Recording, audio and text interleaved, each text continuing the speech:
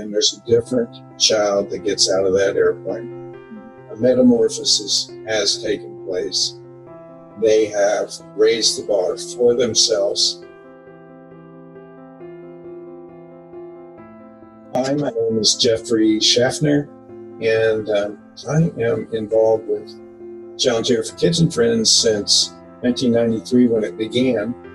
Uh, I was one of the initial pilots. I, I wanted to get involved and get my arms around an organization that had a mission that could do some obvious good for people. Um, a lot of the kids and a lot of the parents uh, have barriers. Uh, the kids, young people may have self imposed barriers, uh, which would be very normal.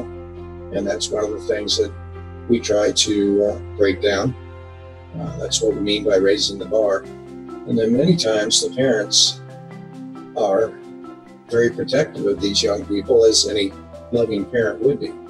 But when they see their son or their daughter up there and they see them actually do something like fly the airplane, uh, many times you'll get a letter from them after the event that says, I am so grateful for what you did for us that day.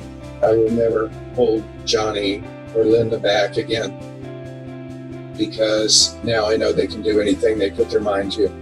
Well, once you get that letter, you know you've really made an impact because now you've broken down barriers not only for the young person but for the parents as well, and uh, that opens up the whole world to these kids.